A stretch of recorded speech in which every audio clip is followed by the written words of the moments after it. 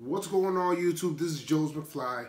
Hit you up with another video to some Yankee off-season news and rumors. First of all, first of all, first of all, congratulations to our baby bombers, Silver Sluggers, Aaron Judge, and Gary Sanchez. Whoo! First of many. Hopefully, let's go. Wish you guys good luck, good health, and congratulations. Good job, guys. From this Yankee fan, as I'm sure all of the Yankee fans, we appreciate you, and I hope every year you use this to get better. Let's go, man. In, in the news today, or rumors today, uh, one thing that really was coming out was really more of managerial candidates. It looks like John Flaherty is really serious about getting this job.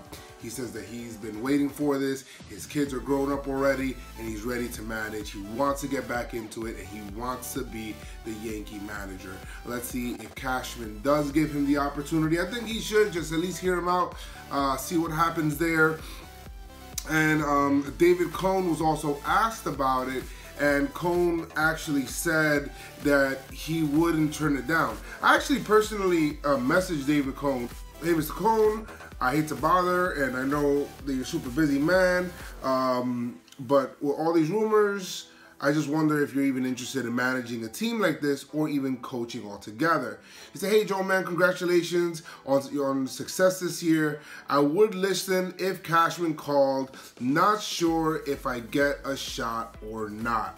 So he's basically saying that he's open to it. He's also said that he's had conversations with Cashman uh, for you know several times now. So let's see what happens, man. Maybe David Cone's name is thrown in there.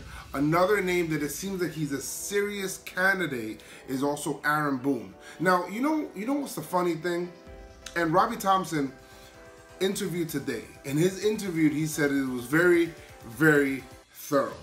Uh, and just to let you know how thorough it was, five to six freaking hours. And this is the guy that they know, five to six hours.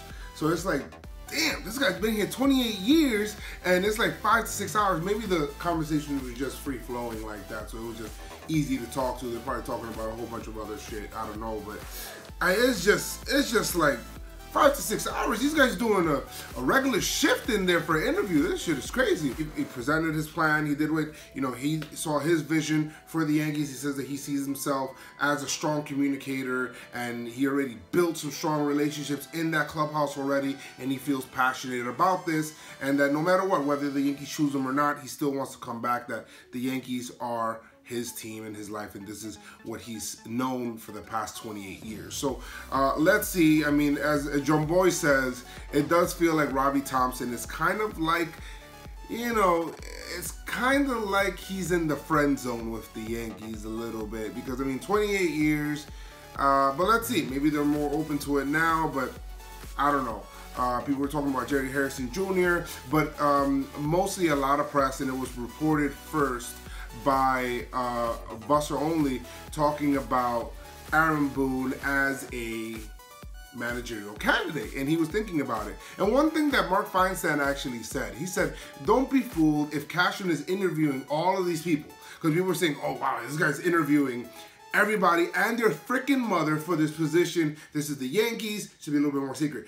Don't be surprised if some of these people that are being interviewed are given coach's position or maybe Cashman is also trying to feel them out, try to see, okay, maybe not manager, but I would fit you as a coaching position or I think you'd make a, a strong addition to the bench or, you know, doing things like that. Now, one thing that is kind of driving me freaking crazy is people's negative freaking connotation on these managerial candidates.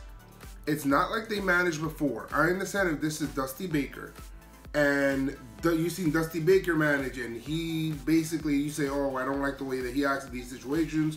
I've seen him with the Cubs. I've seen him with San Francisco. I've seen him with Cincinnati. You know, you see that, and you see, you know what? I don't like him for the team. Okay, fine. But then there's people out there saying, "Oh, I don't want this particular guy because," and then they're throwing out stupid reasons out there. It's like, bro, have an open mind. Somebody saying, "Oh, I don't want Aaron Boone because of the way that he talks in Sunday Night Baseball." What?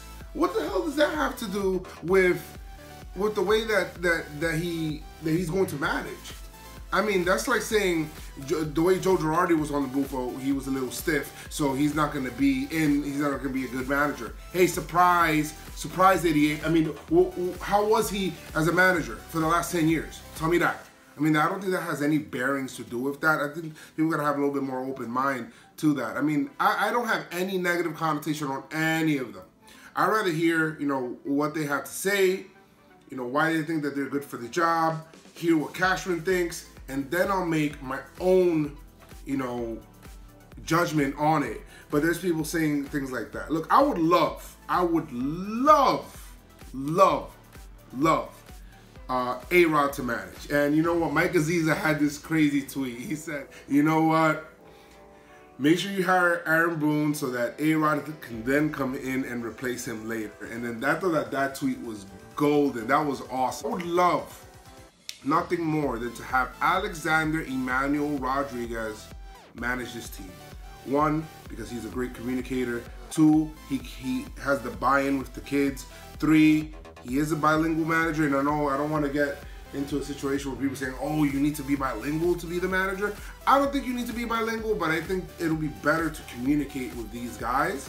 Um, and I think that Alex still puts that emphasis, like he told Gary, "I need you to improve your English." But he can be able to say that with more buy-in from Gary because he's talking to him not only in Spanish, but he trusts him in other areas too. So he's more open to it. And there's a lot of people that are endorsing A-Rod as a manager. We're talking you know, we're seeing we're seeing um, uh, Carlos Beltran actually came out while he's contemplating his retirement. He'd also said, you know, A Rod would make a great manager for the Yankees. And then you have CC Sabathia in the um, in the in the podcast that he has with Ryan Ruocco. You should definitely check out that podcast. It was a great podcast that they that they had. A Rod was in there being himself. I love that podcast just because you see players more of them being themselves, and I love that. I love that as a fan. I don't. Feel like you don't really see that enough. And yo, I just feel like CC's that dude, bro. Like CC's my nigga, bro. Like it just feels like. You know, like he's just a dude like from the from the block. You know what I mean? And it just feels like you could just talk to CC, and he just feel he comes across so personable. And you know, I seen him in Desus and Mero too, and you know, different kind of interviews. And when when he's himself, it just seems that he's a real cool down down to earth dude and even though he's not from New York that dude's New York, bro. He looks like he's wearing Tim's. He looks like he's wearing Yankee fitteds. He definitely looks like he's from New York. Uh, so that's good. You know, I love CC for that. But definitely check out that podcast. Very good podcast. A-Rod being himself out there cursing, throwing F-bombs. I was surprised. I'm like, A-Rod, you curse? What? And that was funny.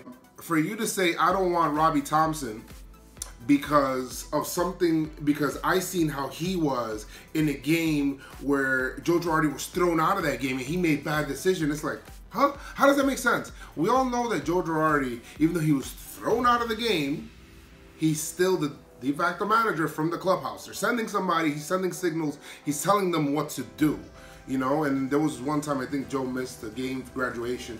Fine, if you want to say, oh, you didn't like that decision, but the sample size is too freaking small. Give these guys an opportunity. Have an open mind. Of course, Joe Girardi had a manager of the year under his belt by the time he came in, but guys, you don't really know who it's going to be. It doesn't have to be a Yankee great to come in. I would, you know, I would love David Cone to be in there because it just seems like he has more in tune with the uh, analytics. You know, Francisco was saying that with conversations that he's had, he, you know, with his personality, he looks like he will fit well with these young kids. Plus, David Cone has done it all, and you know that would be that would be fine. Flaherty would be fine. I mean, it just let's see what the candidates can be able to do and trust in Cashman. Trust in Cashman. A lot of people in the comments for the last video saying, "Oh." I don't know, man. That that firing, and even from different videos, I don't know about the firing, bro. It's like, listen, relax.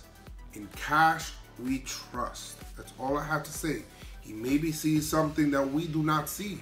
Girardi's a great manager, and nobody's faulting him for that. But maybe he does not fit this particular group to develop them to being, or maybe even other players coming up to being other things. You know, we don't know and you know maybe Al Pedrique gets a chance. But I think that we all need to you know have that kind of open mind uh, to the. And I know I said that a lot right now, but have that kind of open mind to whoever's coming in. The other thing, and then this is the last bit of news here. Gianni Otani will be posted. Otani shall be posted. The Nippon Ham Fighters already said that they're going to be posting the Japanese Babe Ruth, as they call him. I have a couple of thoughts on this. I really do like the Yankees' chances for signing Ohtani. When there's smoke, there's fire. The Yankees have been building up this international signing bonus money to now have the second highest. I believe the Rangers have the first highest, and then after the Yankees, it is the Twins. So the Yankees are right there, big time market exciting. They got Tanaka effect. They, they got the Tanaka effect. They have the Matsui effect. You know, maybe they can couple those things together along with their representatives. Talk to him, be able to get him over, and have him. You know, you could use the DH spot. There's a lot of things you could do with Ohtani. It's just, it's amazing. And you, if you look at video on this guy, look at this guy right here, guys. Look at this guy. This guy can hit, guys. He can hit. You know, you can put him at DH. He can be able to hit. He can pitch. You know, I think that because of the injuries that he had last year, though, I think that the Yankees, even if they get Ohtani, they should still sign CC just because you need a reliable in innings eater. And because of Ohtani's injuries that he's had, he had he had surgery on his ankle or something like that. Also, you know, he he didn't build up the innings this year. So you know what? Take it easy on him. Even if he does sign, bring him bring him along slowly. Start him off maybe in the minor leagues, and you know for the first month or so to limit his innings, and then bring him up to you know slowly or whatever it is. But next year is going to be hopefully Otani, Gleyber Torres. Um, you know, and it's going to be a great year, guys. We just we really need to understand the Yankees are still ahead of schedule. Still ahead of schedule. Signing Ohtani would be great because you can give him the international signing pool money and then you're paying him the league minimum. You're paying him the minimum to be on your team, which is great for that $197 million goal. I mean, I still think the Yankees should sign another veteran back. Um, you know, try to get Todd Frazier. I don't know if he's going to sign for a hometown discount, though. That I don't know. Uh, but we'll see with that.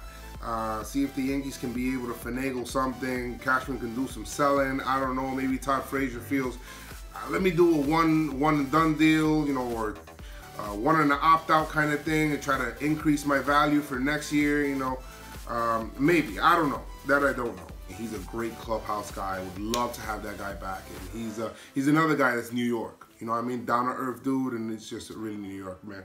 But let me know in the comments, guys. Let me know what you guys think. Oh, by the way, Guys, I'm doing a big time sale on my hats. I have all sorts of different kinds of hats. Like these kind of hats, the reaction hats. Like I'm doing them as, you know, as much as 50% off. Like a, kind of like a celebration for the season. Uh, make sure you do go to my website. We're gonna have this sale is gonna be a limited time though, so make sure you go to www.pinstripesstrong.com to be able to go check it out order your hats, and then you can be able to hit me up, take a picture with it, I'll retweet it, show everybody and things like that. But uh, but let's go, man. But um, Q&A also, uh, because I'm going to be doing the Q&A on Sunday. People have already been leaving Q&A questions. And uh, in my other video, we're going to get the videos rolling. We're going to be able to talk about all of the great, great, great Yankee news. So much. Every day is always something coming out. Um, and guys, stay positive. Man. Like I always say, make sure you do keep the pinstripes on, keep them strong, and let's go Yankees, man. Peace.